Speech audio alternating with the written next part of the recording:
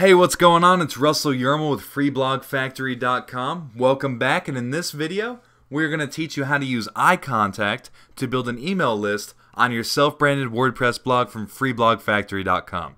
So, once you've already set up an iContact account, which you can get from freeblogfactory.com slash iContact, this will be the home page. Actually, the home page is a welcome screen, which, once again, I can't show you all of our data, so I got to hide that from you. But the first tab up top is My Contacts, so you want to click on that. Uh, before we get into it, let me just tell you why you want iContact instead of Aweber, so you can decide which autoresponder is best for you. iContact, first of all, it gets emails into people's inboxes just as well as Aweber does, which means you don't have to worry about your emails going into spam. Your emails get delivered as long as you continue to be a good person, you serve value, and, and you don't try to steal email addresses or buy email address or do anything shady like that let me tell you a little secret. It actually doesn't work anyway. You need to get legitimate email addresses from people that actually like you and want to do business with you to have successful email marketing. So, assuming you're going to be a good person and, and use the, these magic powers for good, you have nothing to worry about. Uh, contact is a very powerful tool because, first off, you do not have to require double opt in for your leads. You can get your messages into the inbox without having to have people opt in a second time and click a link in their email address to, to confirm. That means your conversions will go up and you'll get more business. Now, the second reason I really like iContact is because it has a full API. And what that means is that you can create third party software that integrates with iContact and gives you power to do whatever you want with your subscribers and your list. Now, there are some other email marketing solutions that cost between three and five hundred dollars a month that don't work very well. That get your messages in the spam box. Uh, there, there's one in particular that a lot of people talk about. But the truth is, if it's too expensive, it's probably not very good. iContact is as good as they come because it has a full API. So if you have a developer or you want to hire a programmer, you can do all kinds of cool stuff, such as making a subscriber move from one list to another when they click a link.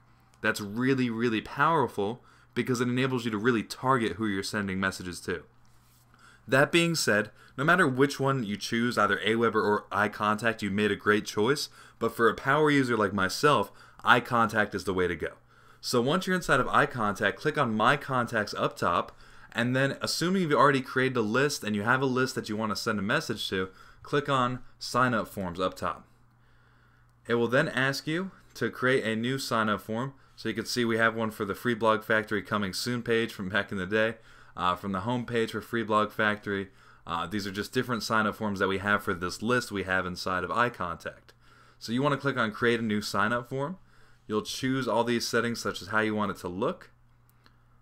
Click on next. And you just got to wait for it a little while. It's been a little bit slow. Uh, choose who you want to send it to.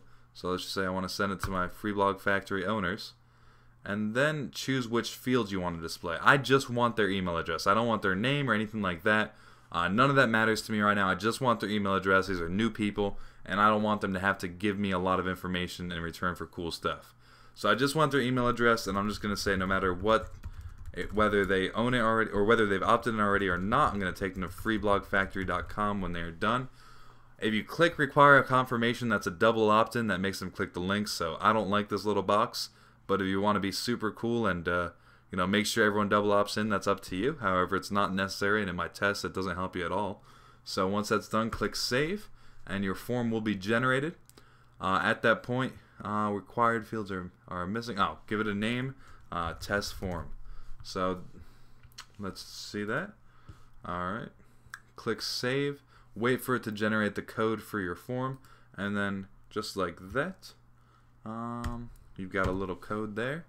We're going to put it back in this little text box with that other thing. And now we'll click save.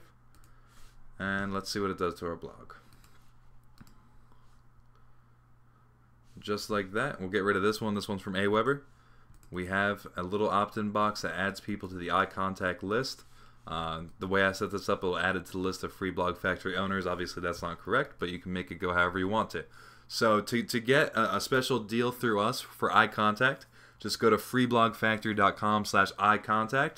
Uh, we are great fans of theirs. We, we, we love the company and we can fully commit to how great they'll treat you. So once again, go to freeblogfactory.com slash iContact to, to use our partnership to your advantage and uh, sign up for an account today.